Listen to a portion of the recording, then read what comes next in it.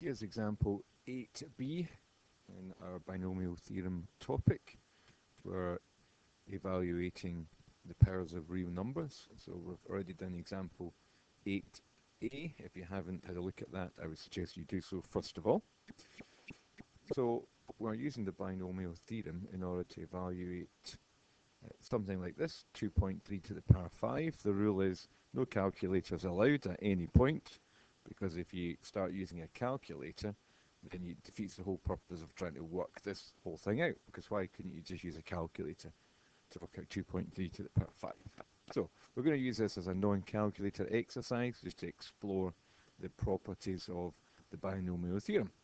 So evaluate 2.3 to the power 5. We need a binomial expression. We need two terms in uh, our power. So what we're going to do is say that 2.3 per 5 is equal to, and we split 2.3 up, we have a, a, whole number and then a decimal part, so the whole number part would be 2, and then we could say that that's plus 0.3 to the power 5. So that gives us our binomial expression, so we can think about that in terms of the binomial theorem, that which would be, let's write it out in full anyway. The binomial theorem says for r equals 0 to n, the sigma of that, the sum of n choose r times x to the power n minus r times y to the power r. And in this case here, n is 5. So we can say that it's the sum of all the terms from r equals 0 to 5 of 5 choose r. Our first term is 2, so it's 2 to the power 5 minus r. Second term, positive 0 0.3, 0 0.3 to the power r. So that's how we're going to set out our expansion. We've got six terms that we're going to write out, so it's going to take a wee bit of time here. So we're going to start off. Um, so we've got 5 choose 0 and we've got 2 to the power 5 and there's no uh, r 0 so there's no 0 0.3 term plus 5 choose 1 2 to the power 4 multiplied by 0 0.3 plus 5 choose 2 2 cubed multiplied by 0 0.3 squared. Plus 5 choose 3 2 squared, 0 0.3 cubed,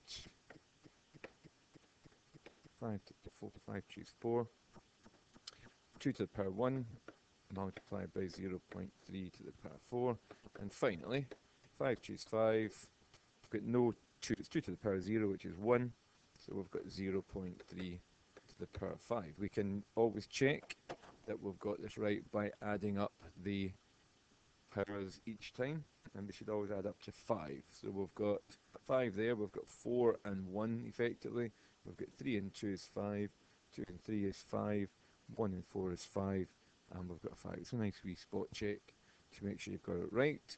I want to evaluate all the stuff, and we've got n is 5, which means that I'm dealing with row 5 of um, Pascal's triangles. You wanted to think about the binomial coefficients and that's them here.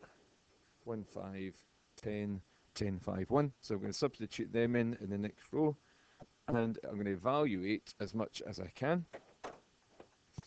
So first term 5 choose 1 5 choose 0 is 1 2 to the power 5 is 32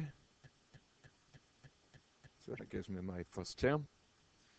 Uh, second term 5 choose 1 is 5 and 2 to the power 4 is 16 and I've got 0 0.3 plus 5 choose 2 is 10 2 cubed 8 and 0 0.3 squared uh, well 3 squared is 9 and your answer is going to have 2 and so we talked about this in the last example.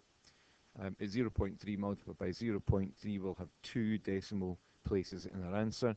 And if we know that the 9 is the last digit then the answer is 0 0.09. And then 5 choose 3 is also 10. 2 squared is 4. And then we've got 0 0.3 cubed. So we know that 3 cubed is 27. We know that the answer has to have three decimal places. So if I've got 0 point, there's 1, 2, 3 decimal places. 3 cubed is 27. And therefore my answer to that is 0 0.027. Uh, the next one, we've got 5 times 2. And the same idea, 0 0.3 to the power 4. 3 to the power 4 is 81. We've got to have four decimal places, 0 0.0081. And in the last term, 5 to 5 is 1. 0 0.3 to the power 5. 3 to the power 5 is, well, 3 times 81, which is 243. It's got to have 5 decimal places. Um, so what did I say? It was 243, 2, 4, 3, and there's my 0.3 to the power 5. So it's quite easy to work out powers of decimal numbers, particularly when there's only a, a, a single non-zero digit in them. You just use your normal powers, except you're going to have to think about decimal places. We can hopefully work this out. Okay, 32 is our first term. 5 times 16 is 80. And 80 multiplied by 0.3 well, 0.3 times 8 is 2.4, multiplied by 10 is 24. Uh, next term, we've got 10 times 8 is again 80, multiplied by 0.9. Uh, 8 times 0.9 is 0.72, multiplied by 10 is 72. Uh, next row, we've got 10 times 4 is 40, uh, multiplied by 0.027. Well, if we think about uh, 0.027 multiplied by 4.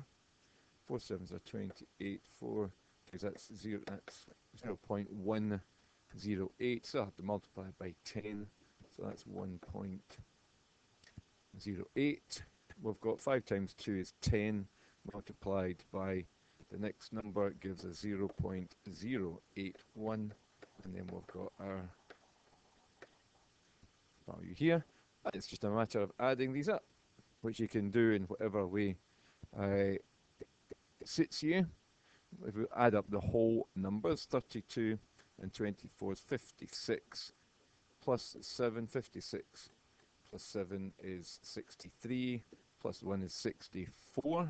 So think we're going to go over that.